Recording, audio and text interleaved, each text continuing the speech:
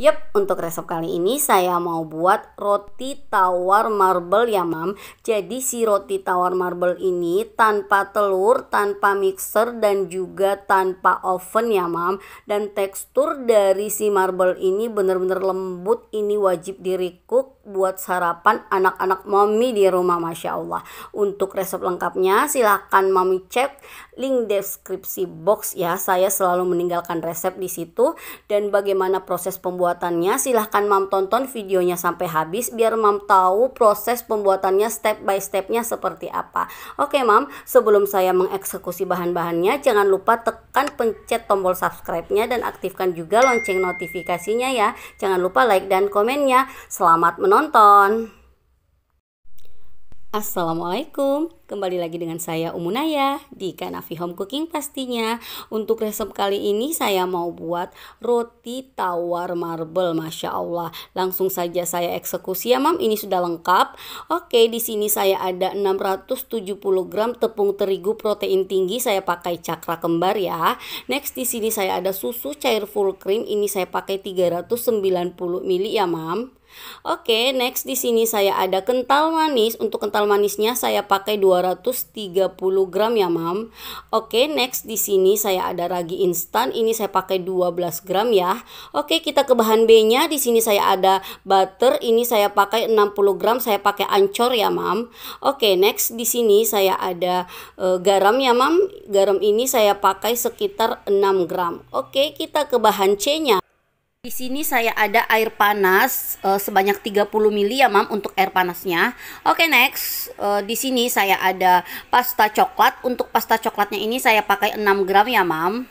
Oke, okay, next di sini saya ada coklat bubuk. Untuk coklat bubuknya ini saya pakai 20 gram ya, Mam. Oke. Okay? Dan sekarang uh, saya mau olah dulu ya si bahan C-nya ini. Oke mam ini kita mau olah dulu si bahan C-nya. Ini kita mau buat adonan untuk bahan C-nya ya. Ini saya tuang untuk uh, coklat bubuknya. Pasta coklatnya.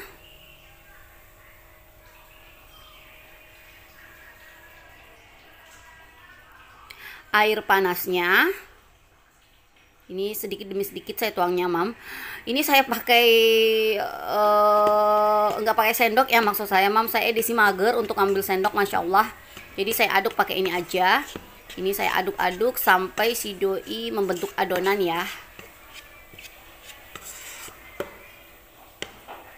Oke mam, ini cukup segini ya. Ini sekarang saya mau tutup si doi biar si doi nggak uh, kering ya mam. Jadi saya tutup pakai plastik wrap seperti ini. Ini saya sisihkan dulu.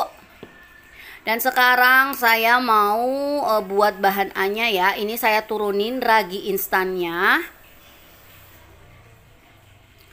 Kental manisnya. Oke, ini saya tuang.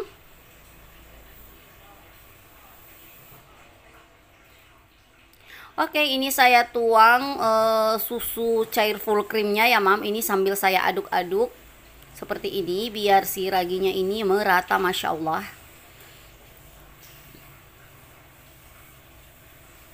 Ini kita nggak usah pakai mixer ya mam. Kita pakai tangan aja Masya Allah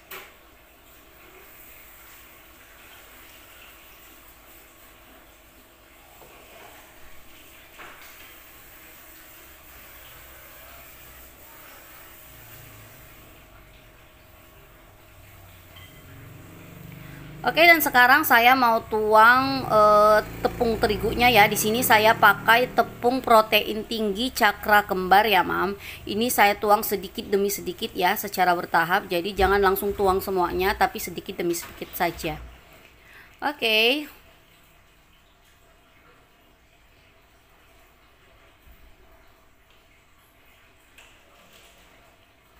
Ini saya tuang lagi ya, Mam.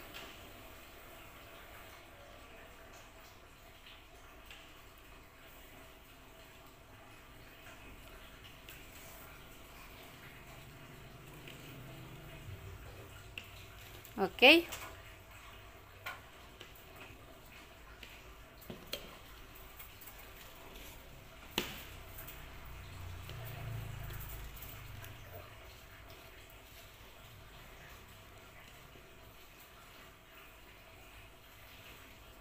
Dan ini saya turunin lagi saya aduk lagi ya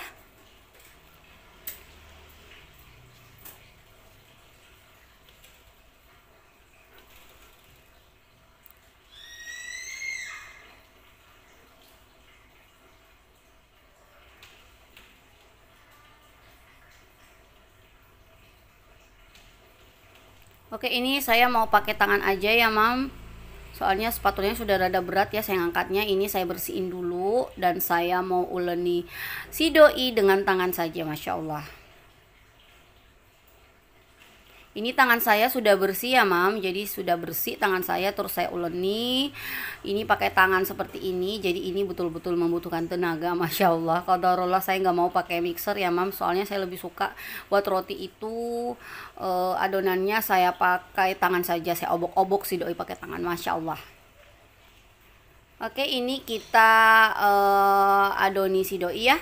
Ini sudah setengah kali, mam. Mami bisa lihat ya seperti ini penampakannya. Ini sudah setengah kali. Sekarang saya mau turunin uh, butternya. Di sini saya pakai ancur ya, mam. Jadi kalau adonannya sudah setengah kali, mam silahkan turunin uh, butternya ya, mam.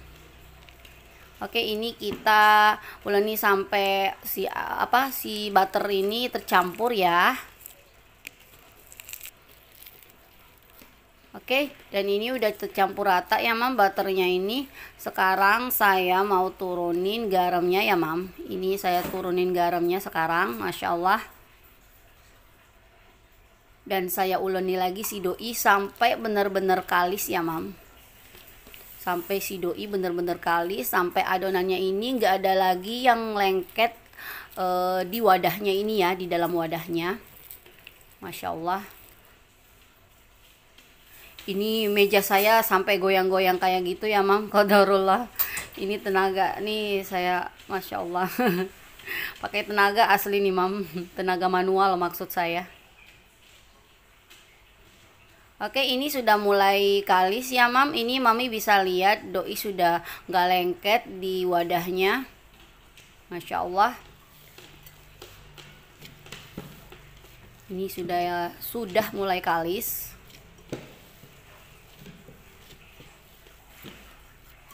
ini mami bisa lihat ya. Mangkoknya ini sudah licin Masya Allah. Dan ini sudah uh, selesai ya mam. Ini saya mau angkat. Saya mau keluarin dari mangkok ya. Ini udah selesai.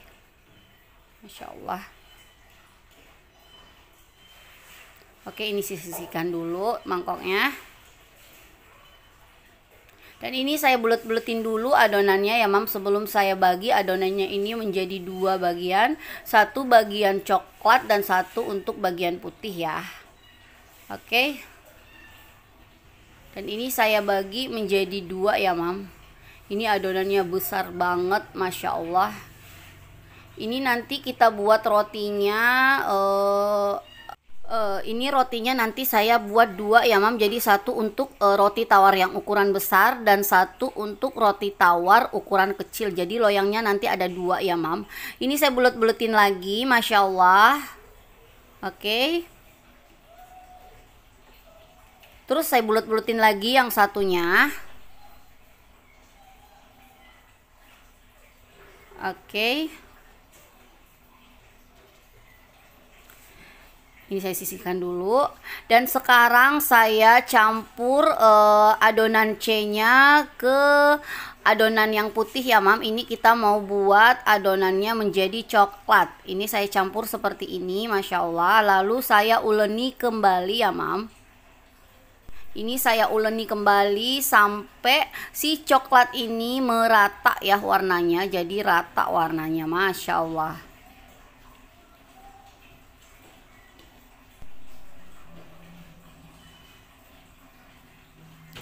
Oke mami ini uh, mam bisa lihat ya ini sudah coklat ya.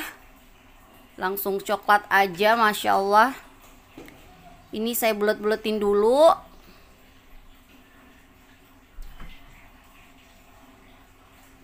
Oke. Dan ini adonannya saya mau bagi lagi ya mam. Saya mau uh, bagi kira kira-kira seperempat ya seperempat bagian sedikit aja. Saya kira-kira aja ya mam untuk adonan coklat dan juga untuk adonan putihnya. Ini saya kira-kira aja. Ini saya bulat-bulatin dan ini masih kurang ya mam. Saya mau tambah lagi adonan putih dan coklatnya. Oke ini saya bulat-bulatin lagi. Sorry agak berisik ya mam. Oke dan ini saya e, mau bulat-bulatin lagi untuk adonan coklatnya. Seperti ini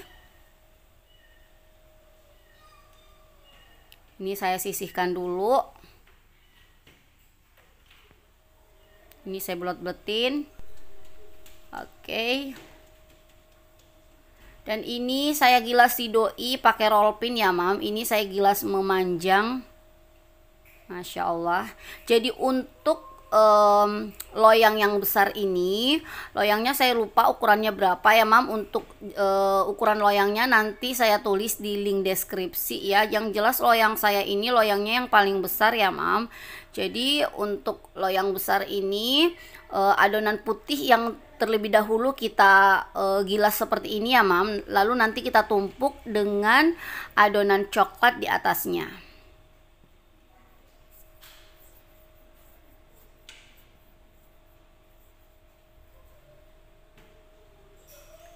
Oke. Ini saya pipi-pipikan e, satu sisi ya, Mang, seperti ini. Ini saya pipi-pipikan seperti ini dulu. Ini saya sisihkan lagi. Oke. Dan ini untuk e, adonan coklatnya saya gilasi doi juga seperti ini. Lebarnya itu dan panjangnya kira-kira sama dengan e, adonan putih ya, Mam. Ini meja saya sampai gerak-gerak sampai bunyi-bunyi ya mam qadarullah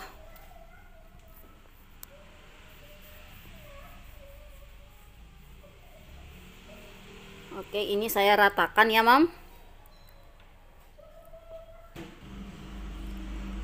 Oke.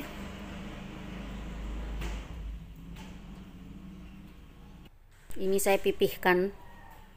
Oke. Dan ini saya mau tumpuk adonan coklatnya di atas adonan putihnya seperti ini. Ini saya sisihkan lagi, Masya Allah.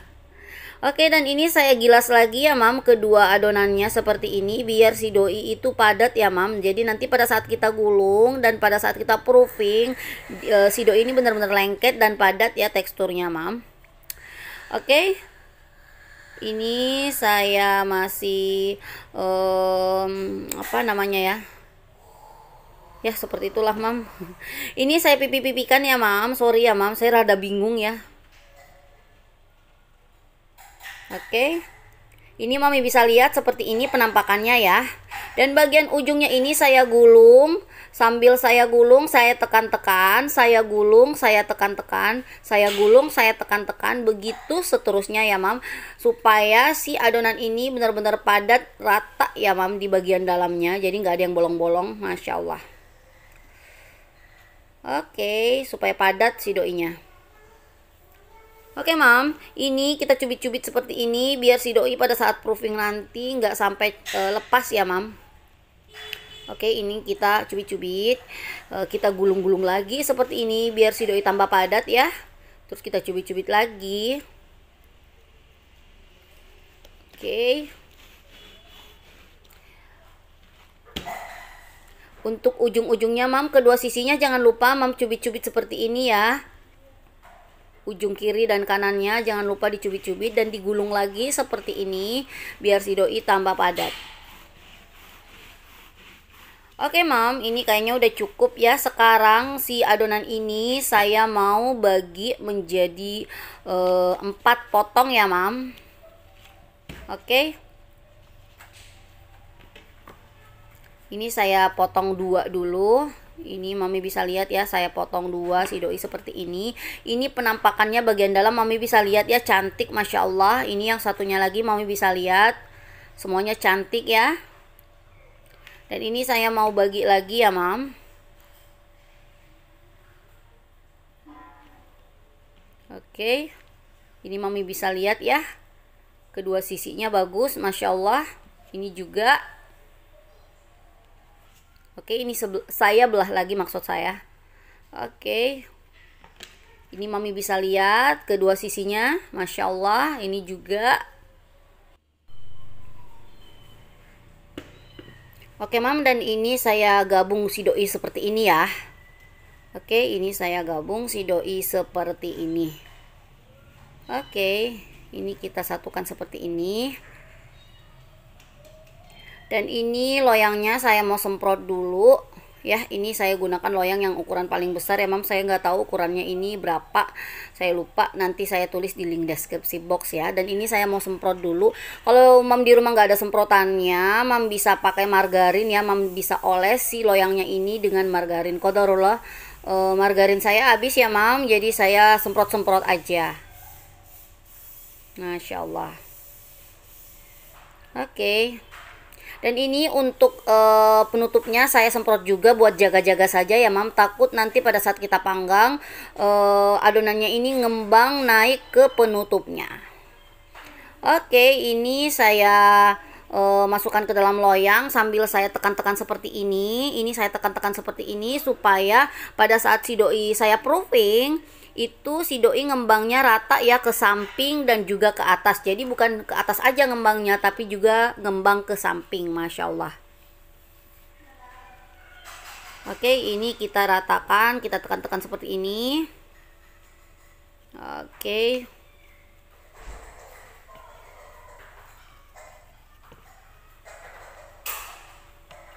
Sorry ya mam sedikit berisik Oke, dan ini saya tutup dengan plastik wrap ya, seperti ini. Kalau mam di rumah nggak ada plastiknya, mam bisa tutup pakai serbet atau kain bersih ya, mam.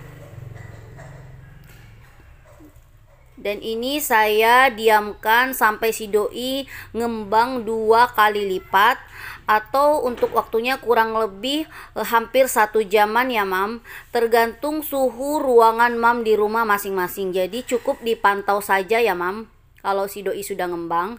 Ini kita diamkan dulu kita proofing dulu ya. Oke?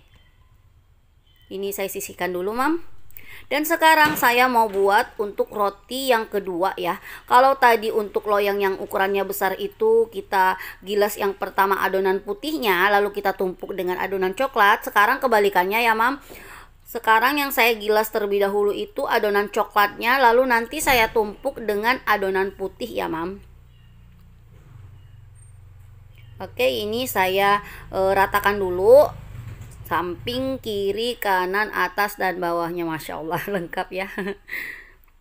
Oke ini saya saya sisihkan dulu. Sorry saya sedikit terbata-bata ya mam. Edisi semangat. Oke ini saya gilas lagi untuk adonan putihnya ya.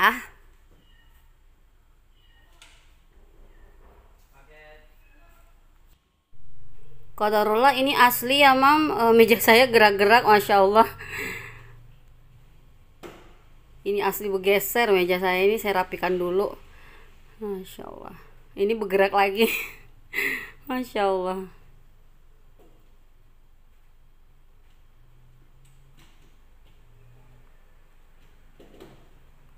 Oke, ini saya tumpuk adonan putihnya di atas adonan coklatnya seperti ini ya.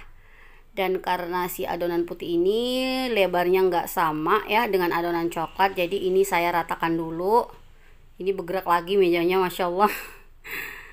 Oke ini saya ratakan dulu seperti ini. Oke. Dan ini satu sisinya saya pipih-pipihkan seperti ini ya mam. Dan ini untuk ujungnya saya gulung langsung seperti ini sambil saya tekan-tekan ya.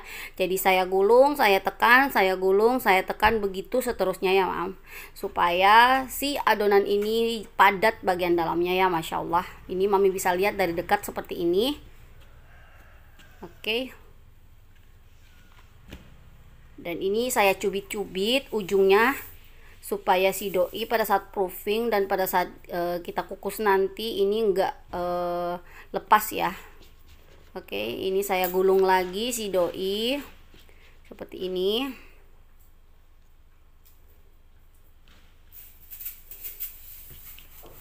Oke saya gulung lagi. Saya, oke. Dan ini saya mau bagi ya mam. Ini saya bagi dua dulu seperti ini. Oke ini mami bisa lihat penampakan bagian dalamnya seperti ini cantik ya Masya Allah. Dan ini saya bagi lagi. Masya Allah. Ini saya bagi lagi. Ini mami bisa lihat ya kedua sisinya Masya Allah cantik. Ini juga Masya Allah. Dan ini saya tata seperti ini saya susun seperti ini. Oke dan untuk loyangnya saya pakai loyang yang seperti ini ya mam. Ini saya semprot dulu. Jadi ukuran loyangnya ini agak kecil. Untuk ukurannya nanti saya uh, tulis di link deskripsi box ya mam. Oke ini saya tekan-tekan seperti ini mam. Biar uh, pada saat proofing nanti si doi uh, ngembangnya itu rata ya. Oke.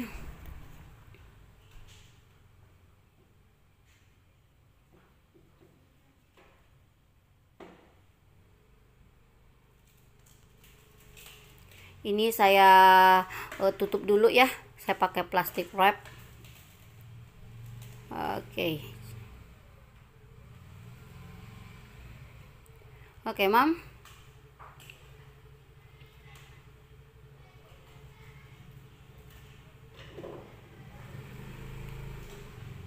Oke. Oke, Mam, ini kita proofing. Saya diamkan sampai si doi ngembang e, dua kali lipat. Ini kira-kira e, hampir satu jam ya, atau tergantung suhu ruang Mam di rumah. Oke. Dan ini Mami bisa lihat ya sekarang penampakannya ini sudah mulai sedikit ngembang ya, Mam kami bisa lihat bedanya dari yang tadi ya ini sudah mulai ngembang ya sedikit demi sedikit dan ini udah selesai ya mam ini sudah dua kali lipat e, ngembangnya oke yang loyang besar ini nanti saya mau panggang pakai panci ya mam dan yang kecil ini nanti saya mau kukus Oke, Mam, untuk penutup e, loyang besar ini Mam bisa pakai, e, Mam juga bisa e, tidak pakai ya, Mam. Jadi ini bisa dipakai, bisa juga tidak. Oke, Mam, ini saya pakai saja takut si doi bener-bener ngembang ya. Ini buat jaga-jaga saja. Jadi ini saya pakai, saya tutup aja seperti ini dan ini saya mau panggang ya untuk loyang besarnya dan untuk loyang kecilnya ini saya mau kukus. Oke, Mam. Ini saya panggang dulu. Dan saya panggang pakai panci seperti ini ya mam. Sebelum saya masukin ke dalam wajan ini saya alas dulu seperti ini pakai tatakan kompor ya. Pakai tatakan panci maksudnya dan ini saya tumpuk seperti ini biar si doi nggak gampang angus ya. Saya tumpuk lagi di atasnya lalu saya turunin saya masukin uh, loyangnya. Oke. okay dan ini saya panggang si doi dengan api sedang ya mam. Api sedang jangan sampai besar apinya takut mutung. Jadi api sedang cenderung kecil selama 30 eh, 35 menit sampai 40 menit. Dan ini saya kukus selama 35 menit sampai 40 menit. Jangan lupa eh, pancinya ditutup pakai handuk atau pakai kain ya mam biar nggak netes airnya ke dalam. Oke? okay dan ini untuk loyang kecil kita kukus dan untuk loyang besar uh, untuk loyang besar kita panggang ya. Dan ini udah matang ya mam. Sudah 45 40 menit. Oke ini saya mau keluarin. Ini mam bisa lihat cantik banget masya Allah. Dan ini yang dipanggang juga ini udah matang ya mam. Masya Allah ini saya mau keluarin juga. Ini mami bisa lihat saya buka ya. Mumpung masih panas uh, mam bisa ngolesin margarin di atas uh, di atas permukaan uh, apa uh, roti tawar yang ukuran besar ya mam kadarullah saya uh, margarinnya nggak ada jadi untuk permukaan atas uh, roti tawar yang ukuran besar ini saya nggak oles pakai margarin ya mam. Tapi it's okay rasanya yang penting rasanya ya mam. Ini roti tawar marble-nya Masya Allah. Ini mam bisa makan dengan uh, olesan selai atau glaze mungkin di rumah Masya Allah. Oke mam sekian resep dari saya ya. Otomatis uh, kita sudahi pertemuan kita untuk video kali ini dengan saya Umunaya Saya ucapkan banyak terima kasih untuk mam semuanya yang sudah meluangkan waktunya menonton video saya. Semoga Allah memberikan sebaik-baiknya kesehatan, kemudahan, kemurahan rezeki, dan balasan terbaik untuk mam semuanya. Sampai jumpa di video saya selanjutnya. Assalamualaikum warahmatullahi wabarakatuh. Dadah.